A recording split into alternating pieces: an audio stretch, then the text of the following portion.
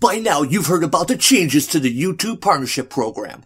You think you're sick of complaining about it? Well, trust me, we're even more sick of listening to you whine.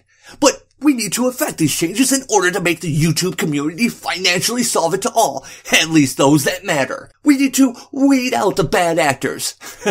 no, no, not the large channels. They already got the biggest slap on the wrist. When we eventually got around to it, no, I mean the real bad actors. You small content creators. The ones costing us all that sweet advertiser revenue. Oh yeah.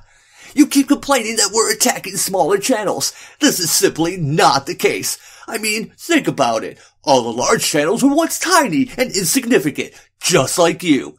Even Logan Paul only had 500 subscribers once. It was the scariest 15 minutes ever at the Paul household, believe me. Don't think of these changes as being something bad. We're actually doing this in order to help you, like the way a forest fire helps new trees to grow and blossom.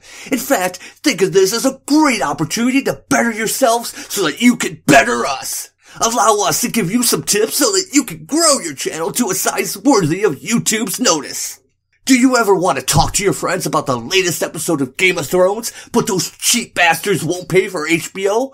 Well, why not help them out with a little bit of the old copyright infringement? Sure, it's illegal, but we'll only ban your channel if we notice, and we won't. It's not like you have anything to lose, only your low subscriber count. When was the last time you rode a skateboard? Never? Even better. Come on, how hard can parkour really be? Why not just rent a Pennywise costume and hang out near the local grade school? Grab a friend and have them film you attempting all the crazy stunts and pranks that'll make you famous, both online and in real life.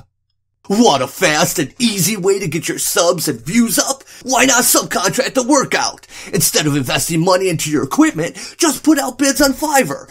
Don't buy a beefy computer, camera, microphone, software, and all that other equipment. Just use that money instead to pay people to watch your channel. Just use your cell phone to make the videos and now you have 360 new subscribers. But why stop there? The sky and your pocketbook are the only limits, so shop around. Have you tried having breasts? No, not those little nubs. I mean full on tits territory. Yeah, that's more like it.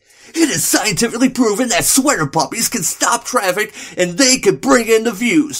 So wear something tight and make sure the girls get plenty of airtime. Set the thermostat low and give the nipples a good tweak before showtime.